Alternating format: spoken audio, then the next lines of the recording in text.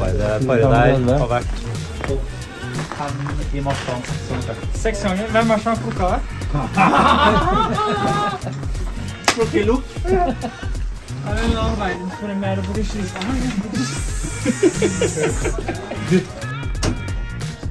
driver vi og planlegger skitest i morgen. Eh, vi har testa masse i dag. Vi tester, vi glider, vi tester struktur, vi tester manuell rill, vi tester forskjellige typer ski. Og nå så må vi planlegge neste dag. 1601, 735. Mye hjerneaktivitet, mye smarte hoder i sving. Så derfor står jeg her, og de står der.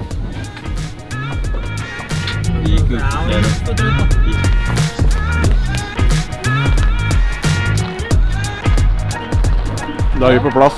Se rundt da. Det er fint på NM på Gjøvik, altså, men uh, blir satt i offside her, ja. Nå. Nå er vi her. Gutta på skytes! Gutta på skytes!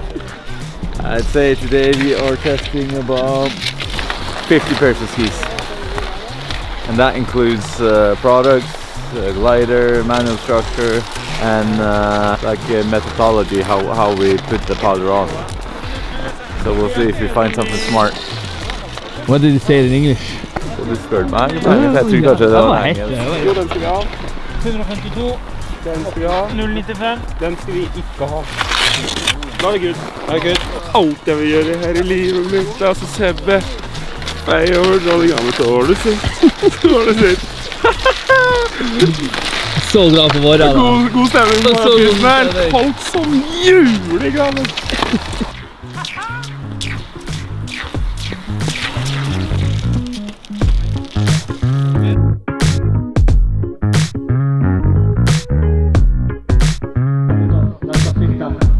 Fondo e ciasco. Allora io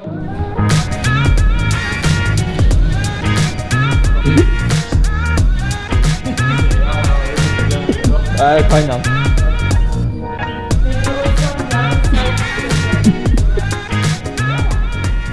Yes, det er dagen før dagen. I morgen vraker løs Marcialonga. Et av årets eh, høydepunkter. Vi er nå og tester ski. Sola skinner. Vi tror vi har truffet ekstremt bra på skien. Vi har akkurat vært på litt eh, fotoshoot med skileverandøren vår Fischer. Eh, Så nå er vi klar for morgendagen. For et, for et sted, for en plass, for en dag. Det er fint. Det er stemning. og sykt mye folk. Så det blir, blir rått der.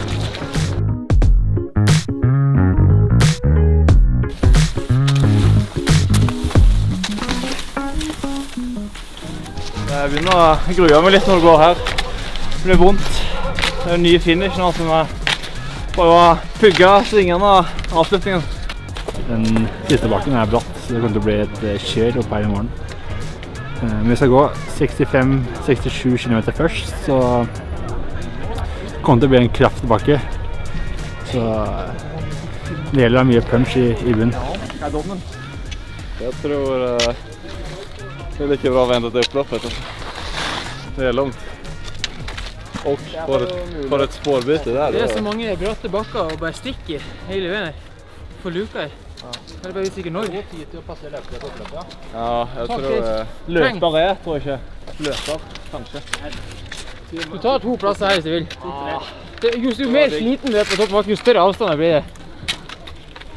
Optimal situasjon nummer to inn her. Tre kan gå. Is i magen ligger, två här.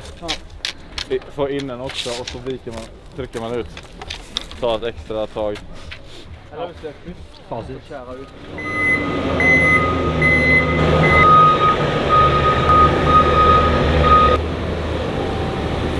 var det sex stycken turning points upp Cascata, men det vet ni kanske för ni har ju gått upp där idag. Eh, så min erfaring er i hvert fall at det er to plasser som det blir eh, skikkelig trekkspill. Det er én før Soraga, og det er to gjennom Predazzo. Der er det trekkspill. Hvor er Soraga? Soraga er den brattbakken rett uti her sånn. Der det du skal tenke på, begynn å posisjonere deg når du går gjennom ølteltet. Du går gjennom et telt. Det er rett etter drikkestasjon nummer tre. Og så går du gjennom et øltelt. Så får du ei flate, og så begynner det noen ganske gode nedoverkjøringer der. Da sitter du nesten i hockey inntil du kommer inn i en skikkelig brattbakke. Og der er sånn hockey, litt høyfart staking. Men der er det viktig å posisjonere seg. Utnytt at dere har gode ski. Kom seg fram, kom seg til tet. Det blir det fort et halvt minutt. Er, Ja. er du noen 30, så er det fort et. Altså, hvis du ikke er topp ti over den toppen der, så er du nummer eh, Så er du et halvt minutt bak når du kommer ned i Moena her. Og i morgen så er det en ny nedoverkjøring til Moena. Da skal vi kjøre bilveien ned til sentrum. Ikke der vi har gått før, men bilveien ned. Og der er en skikkelig krapp sving til høyre nedi. Der er det mange som kommer til å ploge. Men det er bare å sette til. Kjør. Hvordan var det over broa? Null stress. En jævlig krapp En venstresving. Ja, det, det, nei, ja men venstresvingen er ikke noe stress. Den har vi alltid kjørt. Så det er den første høyresvingen. Der er det mange som kommer til å bli redd, men den er, den er ikke så bratt som den ser ut. Så der er det bare å sette i. Og så får du god fart over hoppet der. Og inn ned mot elva. Men du hopper ikke? Du hopper ikke. du... Nei, nei, du kommer ikke til å hoppe. Men der, der er det bare å kjøre på, for der er det mange som kommer til å bremse. Det er ingen vits å bremse. Er det plass å kjøre forbi? Ja. Ikke ligge bak Tele og Joel. Det var jo plan. Og så plass nummer to, det er gjennom Predazzo. Fordi at der kommer du inn på der er lagt ny snø. Så da har du gått på gammel snø lenge, som er trå og kald og dårlig glid. Og så kommer du ut i sola når du kommer til Predazzo. Da blir det plutselig råbra bra glid, for der er det helt plassert. Så der går farta, da er det en sprint på akkurat der sånn. Så der kommer farta bare til å gå rett i taket. Og da blir det dratt ut og blir skikkelig trekkspill gjennom byen. Og nå skal vi gå gjennom byen nå, der er det masse høyre- og venstresvinger. Og innen du har kommet ut i elva på andre sida, hvis du står nummer 30, 20-30, så er du et halvt minutt bak. Og der bruker det å bli luka nedover. Det er der Andreas rykka for eh, tre-fire år siden. Det er der eh, Ragde bruker å starte og begynne å kjøre. Så der er det veldig viktig å være. Og da er det rett før hoppbakken du må begynne å posisjonere deg.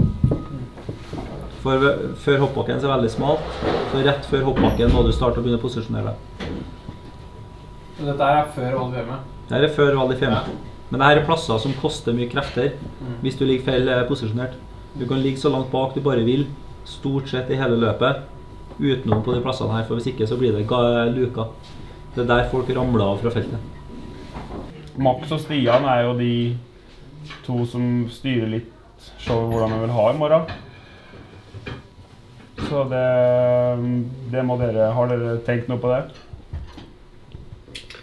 Ja, um, tänker dels, uh, vi må bara passa upp på så här, när Ragde börjar mobilisera, uh, de får aldrig ha, liksom, vara i båda spåren i täten, fler än liksom två stycken i bredd. Så det inte är att de är plötsligt fyra stycken som ligger i båda spåren och så kan de sända folk av gårde. Det var det ju lite risk för det på diagonella i slutet, när de låg fyra på rad. Eh, Det, det, där var det inte så farligt, för där kan man ju gå om, men här, här kan det komma ett smalt ställe där man inte kan gå om och då, då har de plötsligt eh, några meter och då, all, alla där är ju starka så eh, det blir lite svårt att jaga. Ja, Men dere er enige at dere, er der, dere vil være piggest mulig? Piggest mulig og så langt fram inn i siste bakken? Dere klarer? Det er ikke noe, ingen av dere som vil gjøre noe før det? Ligger eh, fire Ragde for eksempel foran, så må en av oss prøve å komme seg på utsida, prøve å komme seg fram. Og så slippe inn når det kommer kompiser fram. Så etterstreb, ligger sammen. Og släpp inn den andre tiden. Og man slipper ikke inn en kjeft ellers. Og er det noen som føler seg pigg, Chris, Petter, i starten oppover, det er deres sjanse til å vinne det skirennet her. Det er å være med i et brudd som får ei god luke. Kjør på.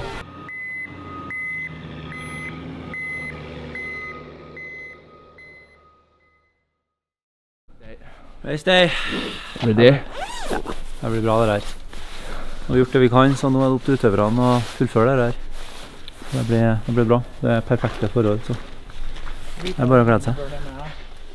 Nå, nå drar det i gang. Nå skal vi til start. Deler ski. Så skal vi se utover over å gå som hun aldri har gått før. For nå har vi testa så mye at eh, dæven, jeg er sliten.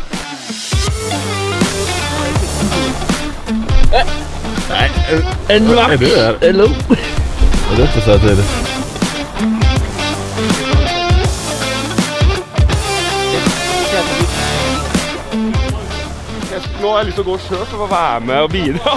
Ja. De drar av kuker frente. Ja, ja.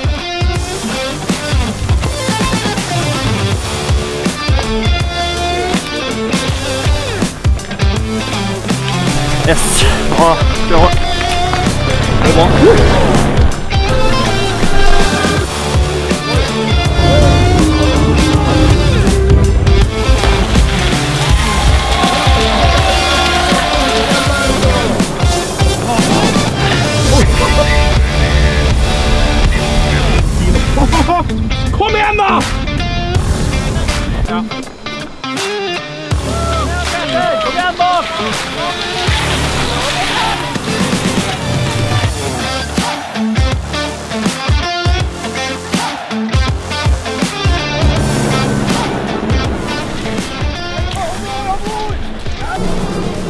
ligger bra an i herreklassen.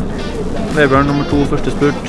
Eh, Resten ligger fint ned i feltet, så det ser greit ut. Silje tappa litt i dameklassen nå, men eh, det er muligheter for å kjøre seg inn når det blir nedoverbakke her nå.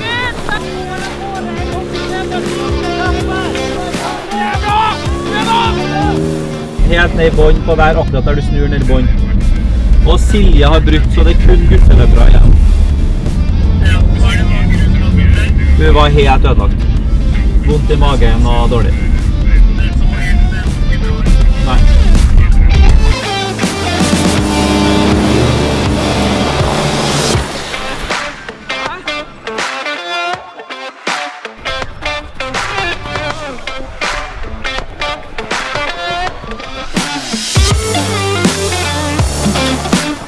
Da står vi til siste bakken. Det er vel en ah, 700-800 meter, tenker jeg.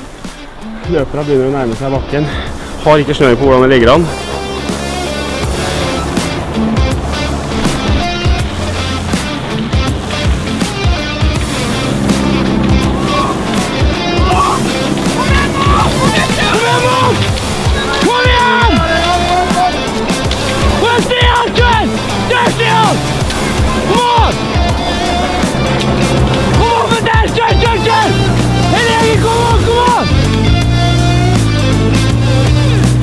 Yes,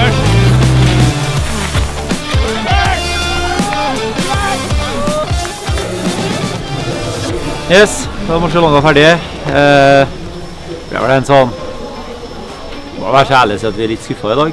Eh, Silje sliter fortsatt etter koronaen, har ikke helt eh, funnet seg sjøl. Eh, hadde ikke en god dag, brøyt dessverre. På guttesida så eh, preger vi å løpe underveis. Eh, Vebjørn gjør en veldig bra løp. Tar uh, nummer to og nummer én i spurten. Og gjør en god jobb for laget ellers. Uh, Resten av gutta er, er jevnt over OK, men uh, det er ikke niendeplasser vi går for. Det er seier. Så alt i alt så er vi litt skuffa. Det må jeg være så ærlig å si det. Men heldigvis, da, når man går til alle skirenn, så kommer det snart nye skirenn. Så da er det bare å hjem, pakke ned alt det skia der, utstyret, komme seg hjem, trene, knuse dem med en sjekke.